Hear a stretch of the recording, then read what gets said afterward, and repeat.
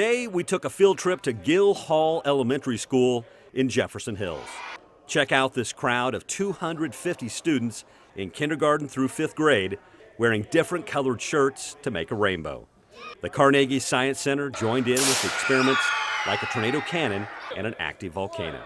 Thanks so much for the generous donation to Project Bundle Up and for the delicious cake. To learn how administrators can sign up your school for a visit or to see more video from today's appearance, log on to WTAE.com and click Weather.